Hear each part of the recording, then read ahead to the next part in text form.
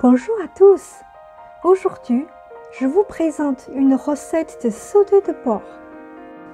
Ce plat très varié et équilibré ravira les petits comme les grands.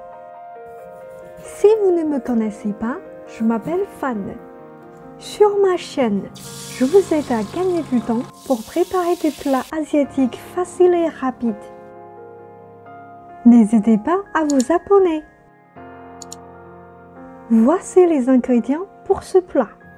500 g de porc, 4 œufs, 10 g de champignons noirs. Faites-les macérer dans un bol d'eau pendant au moins une demi-heure. 30 g de lit d'un jour séché. Si vous n'en avez pas, ce n'est pas grave. Pareil, il faut les faire tremper dans l'eau. 150 g d'épinards, 60 g de blanc de poireau, 3 tranches de gingembre, 2 cuillères à soupe de sauce soja, 1 cuillère à soupe de vin blanc, de l'huile de sésame, de l'huile, du poivre et du sel.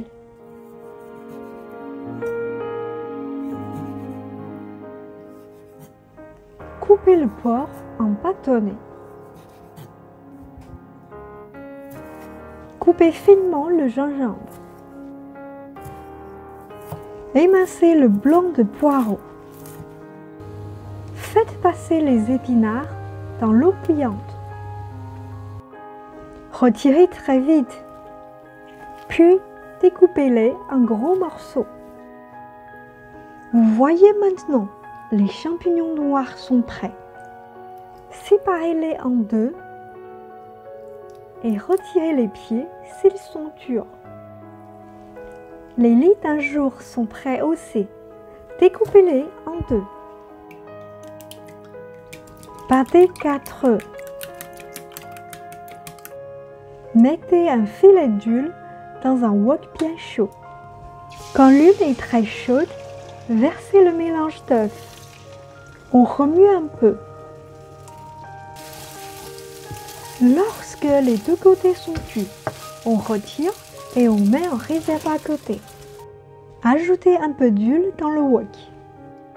Versez le porc.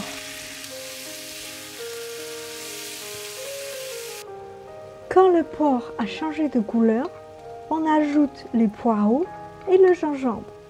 Remue un peu. On verse le vin blanc et la sauce soja. Puis ajoutez les champignons noirs et les lits d'un jour.